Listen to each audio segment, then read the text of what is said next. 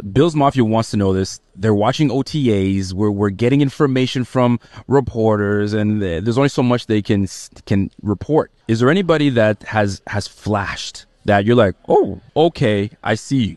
Shoot, there's a lot of guys. Even even Dalton. I mean, great hands, great routes, making plays already. Nice. Harty, his speed his speed is unbelievable. It's so funny in walkthroughs. He'll kind of be you know shuffling around, jogging real slow, but then when he turns the jets on, it's unreal. It's crazy. Damien Harris too. So we're excited to mm. see him on the field. I mean, that guy can roll. It's gonna be hard to tackle him too. So I mean, Beane has just done an incredible job getting some more weapons. I mean, we've seen flashes of talent in every position group. You know, new guys that weren't here last year that are picking it up pretty quick. It's been it's been fun to watch.